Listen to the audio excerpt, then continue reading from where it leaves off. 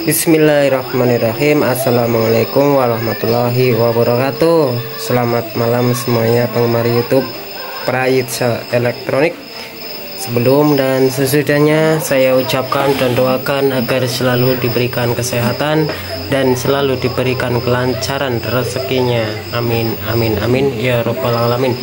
Kali ini ada tutorial perbaikan televisi sub 21 in yaitu Piccolo Slim kita langsung saja buka.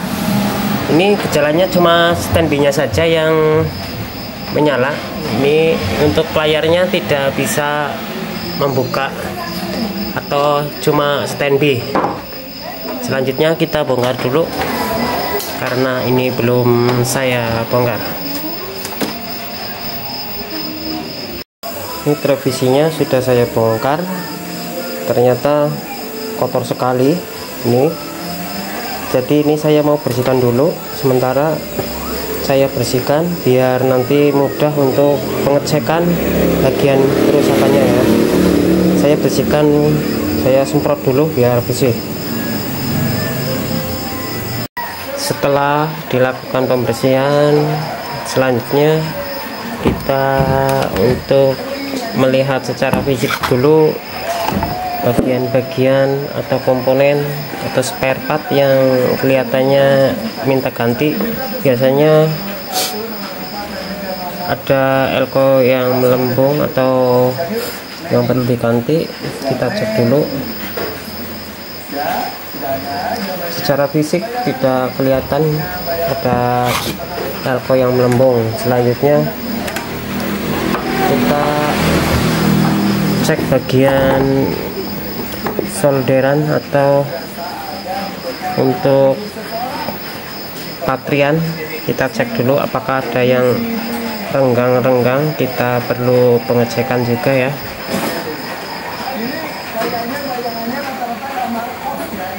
Dan di kaki IC vertikal juga ada yang kelihatannya renggang di sini bercincin.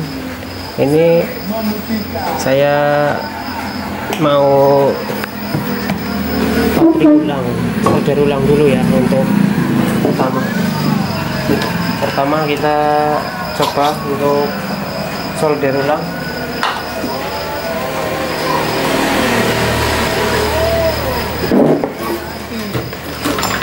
Sudah dua silakan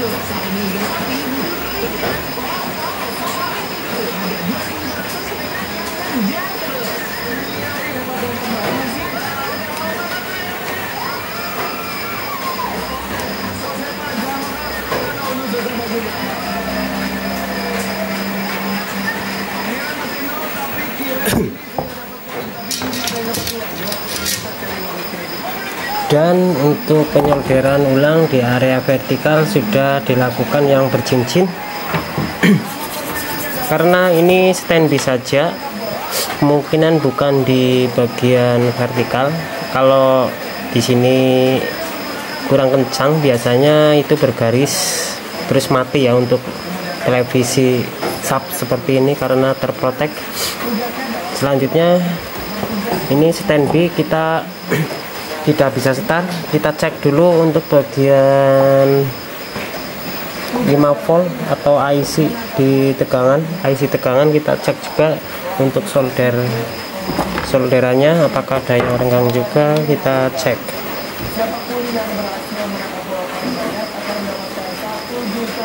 Ini juga agak renggang di IC 751 nya kita lihat ya ini ada yang renggang ini kelihatan. Ini juga bisa standby saja kalau ini terlepas atau bercincin. Kita solder dulu aja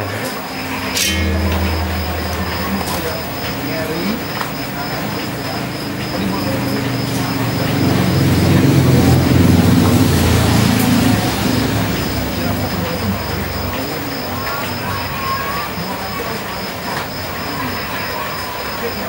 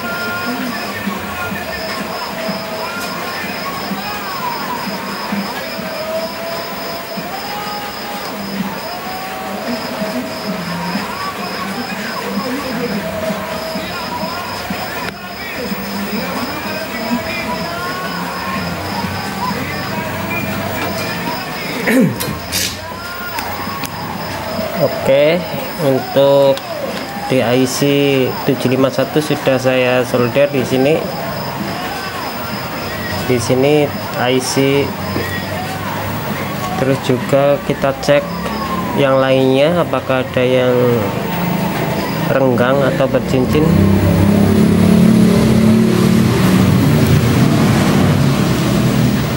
Oke sudah kelihatannya. Nanti saya kencangkan lagi kalau karena ini banyak sekali yang renggang-renggang.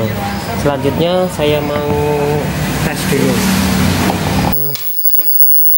Sepertinya sudah start di sini sudah start ya kita lihat untuk layarnya.